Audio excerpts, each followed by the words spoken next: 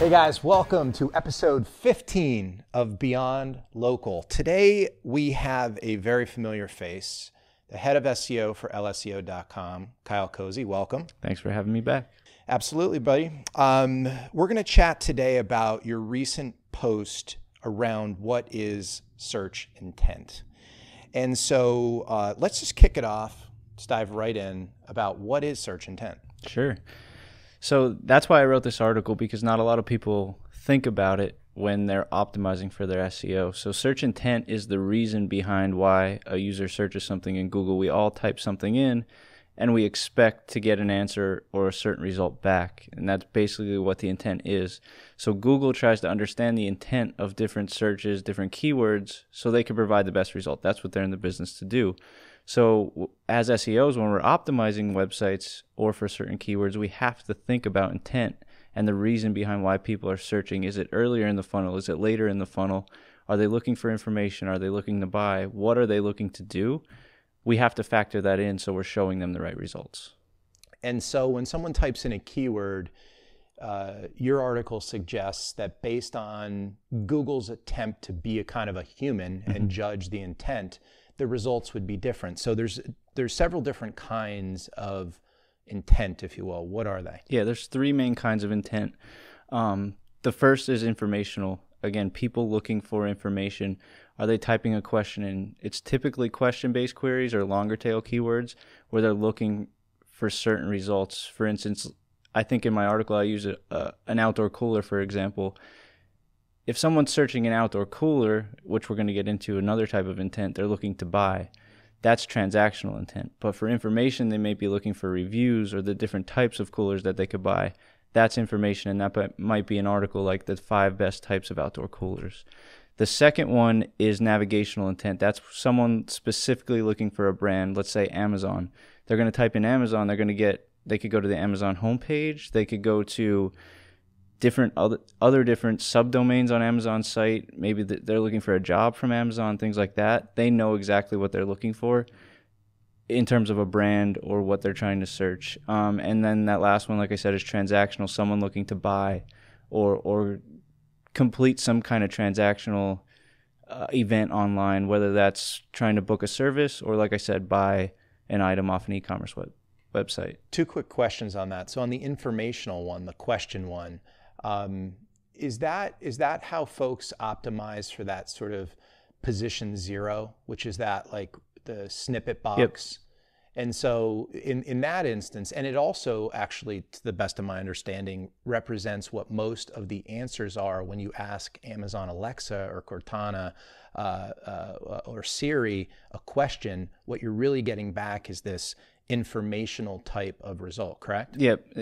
I mean, most of those queries have that answer box or position zero rich snippet. So that ultimately that's what you're trying to gain. Um, but again, the results under that are also as valuable. Maybe that rich snippet doesn't provide all of the information the user is looking for, so you could get clicks being under that answer box as well. But yeah, I mean the yeah. main that's the that's the gold standard. If you could get in that position zero or answer box for those informational based queries, then you're in the money. Yeah, and really just optimizing for for the Q&A yep.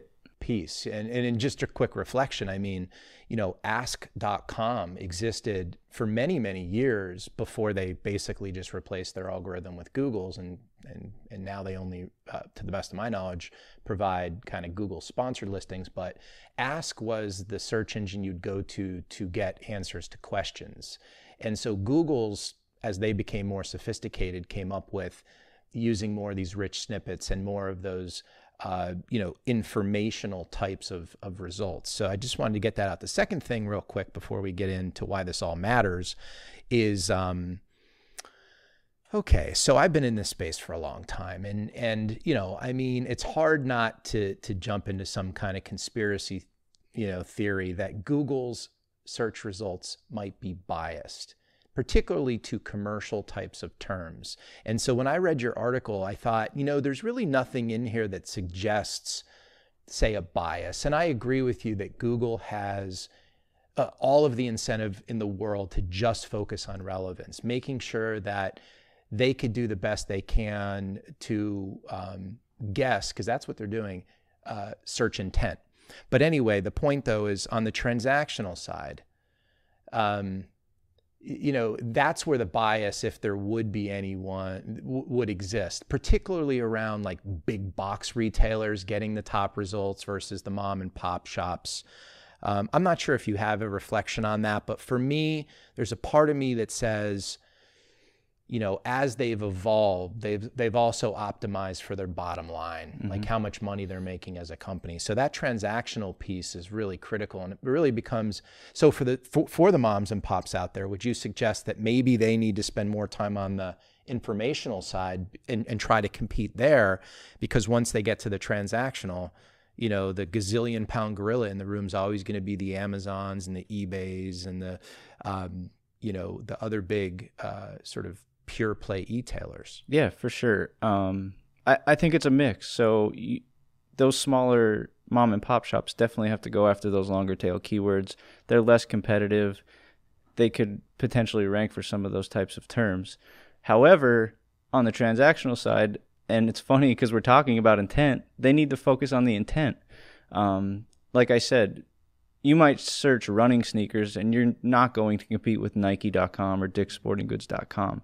But there may be another way that you search for running sneakers that is less competitive, but the intent behind it is still to shop, and Google's going to show shopping results. And they may and Nike and Dick's Sporting Goods may not may not be optimizing for that lesser keyword. But based on intent, Google still thinks people are are looking to shop. So you could be competitive in that space as well. Just probably a less search volume keyword. Got it. And before we before we go to the next piece of this, why is local intent not one of the primary types of intent? I think it, it is, but it's not necessarily to show up in the organic results. Google's going to populate the uh, another type of rich snippet, which is the Google Map results or the Google My Business listing. So, if you're searching for, let's say, running shoes again, you're going to get Nike, you're going to get Dick's Sporting Goods, but underneath that, in the middle of the page, you might get the local map snippet showing where Dick's Sporting Goods is or how close it is. We're in Wilkes-Barre, we're probably going to get the Wilkes-Barre location. Um, if there's a Footlocker in the mall, we're probably going to get that location. Um, so there is going to be some type of local snippet around it, um, but I don't think it's a main portion of the search intent. That actually clarifies it for me because I think if someone were to type in, you know, Scranton running shoes, the local intent is clear. But if someone types in running shoes, the local intent might be assumed, but you could be competing with national retailers in, in, in that instance. So, you know, if you're a local retailer, you know, using some of that sort of keyword, you could use uh, geographical based keywords. You could use other type of signals like um, uh, zip codes and, and other things. But but that's probably for a separate. Yeah. Podcast. So I would say to that point, if you're a local store that does sell running shoes or a certain type of item, just make sure you have your Google My Business up to date. That you what type of items you sell, and and you will populate in those searches. Awesome. So uh, we were talking about the different types of search intent. Uh, why does this all matter? Why is it important? It matters because if you don't optimize for the correct result, you're not. Google may not even show you in in the result, or if you are showing in the result, you're not going to gain the click versus other people showing. So you have to optimize for intent. If it's informational based, give them information. If it's shopping based or e-commerce based, make sure you your product page or you have a, a page on your website where someone could buy something or fill out a form or book a service. Mm-hmm. Um, making sure that you your pages and your site is optimized for that intent it is going to get you showing in those results. Again, I'll come back to Google wants to show the best results. So if you're not optimizing for what they intend to show, you're not going to show up possibly. They could show you to test, they may A B test. Let's say they want to see if people are clicking the information result versus the shopping result. They may show you, but if you know that people are looking to buy and you're showing an information result, you're probably not going to get the clicks. Got it. Got it. Um, and for folks watching, um, we'll add it to the description of this podcast, which will be a link to the post that you actually wrote on this, which is obviously much more detailed and comprehensive. One of the things, honestly, the, actually the part of the of your blog post that I enjoyed the most um, was really the next area I want to chat about, which is um, the discovery piece of this. So, how do you perform proper keyword research around intent? Yeah. So th- there's really three aspects of that, or three steps I would take. So you could do your basic keyword research. You could get all the terms that you may want to go after that have good search volume, have medium to low competition, maybe even high competition if you're a site that you know can compete. Um, but the, once you do that first part, the step to determine intent is to analyze the SERPs um, the search results page. Google's your best friend in this instance. So just, typing in keywords yeah, into Google. Just make sure you go incognito or clear your cache because you don't want your old searches to influence what you're searching now. But search the keywords that you chose and, and see what types of results are popping up. Are they informational based? Are they transactional based? Um, and you'll be able to determine what type of pages you need on your site to go after those terms. Mm-hmm. The second aspect is to do some and I'm to I'm to bring paid media into this a little bit, but use your Google Ads account to use Google Keyword Planner um, and search the keywords there. See what the CPCs are. If if it's a high CPC, you know it's later in the funnel.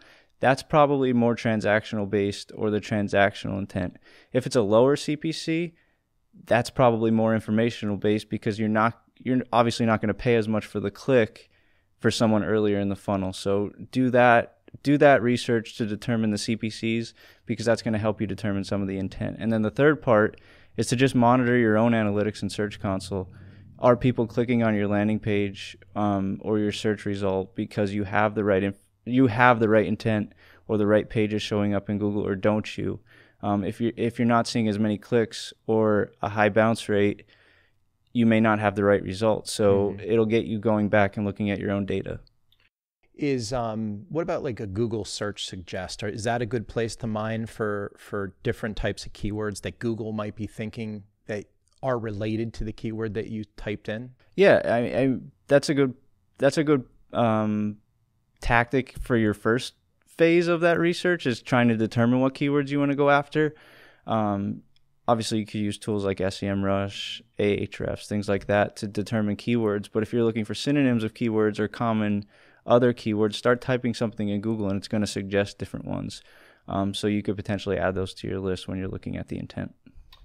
Uh, one of my oldest friends in SEOs is Bruce Clay, uh, who's actually uh, been actually in the book that I wrote. I, I, give him credit for actually coming up with the concept of search engine optimization way back in the late 90s. It was probably around 2008, somewhere around there, maybe 2010. I remember Bruce starting to talk about this idea of latent semantic indexing and and keyword research, and and, and actually it was it was something that uh, I was like, whoa, that's pretty advanced. And and the gist of it is is that you know Google's a machine; mm-hmm. it's not a person. But here's where it as a machine is actually smarter than a human. It has the ability through this latent semantic concept to be able to guesstimate and associate keywords with the root keywords that are typed in. So if somebody types in Carson Wentz, Google automatically knows that the searcher intent could be I want more information on the Philadelphia Eagles um, schedule. Um, of course, I want more information on Carson Wentz, but maybe I'm also interested in in information on you know some of the popular wide receivers or running backs. And anyway, the the gist of this, the reason I brought it up at this point is that from a keyword discovery standpoint, this is really about peeling back the onion. Yep. And whoever's doing the keyword research for you, it can't be a lazy endeavor. It can't be just Google search, you know, tool. What does it say? Add that to my campaign, add that to my campaign. We got to really kind of peel back the onion and think through how Google's algorithm actually it's because it's so sophisticated is working these days and yep. it creates more upfront work but to the point of this whole podcast and your and your post which is excellent if anything it's like the takeaway is guys, you got to do a lot more work and really kind of take some ownership and self educating yourself on how sophisticated keyword discovery is when what we're trying to do is optimize for search intent. Yep. That's that's definitely not a beginner class in SEO. This is definitely an advanced concept. So um, we talked about keyword research. Let's kind of conclude this podcast with how businesses can optimize for search intent. What kind of recommendations uh, do you have? Even you know, feel f- free to share some yeah. some case studies or anything that that, you, that you've come yeah, across. I think I, I mean the answer to that question is simple. Um, if you complete all the steps that we just talked about in the keyword research, how businesses can optimize it, optimize for searcher intent is just to make sure that you have your pages set up based on that intent. So, what did you find in the keyword research? Do you need an informational page? Then create an informational page. Do you need a transactional page? Then create a transactional page. Um, just make sure that whatever keywords or key terms that you want to target as a business, you have the right page set up for what Google is showing for that for that keyword. Um, and, and a real life example is one of our clients. We work with a beauty brand, and one of the key terms that we thought we could optimize for them was a green clay mask. Um, it's something like a woman or a man could put on their face to clear their pores, things like that. Um, when we got that keyword and we actually did the research based on intent, we noticed that it was informational based. What, how to make a green clay mask? What are the top five green clay masks? It wasn't necessarily how to buy. So where we thought it was a beauty retailer, oh, we could sell their green clay mask, just get their product page showing for it. Not the case um, we needed to create a blog post around it. What are the top five green clay masks? How to use a green clay mask? Um, how to make one? How to put it on? How to take it off? Things like that. So Google was showing informational based results for that keyword where as a human we would assume someone typing green clay mask is looking to buy one online. So awesome. So anybody that's watching, if they wanted to get more information on how LSEO could help them, what's what would you suggest to them? Yeah, I mean, you could try and do it yourself. Um, there is a lot that goes into it. You'll need different tools. Um, you'll you'll need to know you'll need the experts to know what they're looking at, um, and it, it, does require a lot of time. So if you do need help or um, need a third party to help you do it, reach out to us. We'll help. We'll be glad to help. Um, like I said, we've done it for many of our clients. We do it for our own website. So um, we're definitely experts when it comes to this. So we could get your website hitting on all cylinders if we optimize for the right keywords. Um, so I would say just reach out to us and we'd be happy to help. Super cool, man. Thank you so much. Uh, hope you guys enjoyed today's podcast. Uh, it was certainly one of my favorite. Uh, guess what? Next week is episode 16. 16 is my favorite number. Uh, so I can't wait. Uh, really appreciate you guys watching, and uh, we'll see you next week.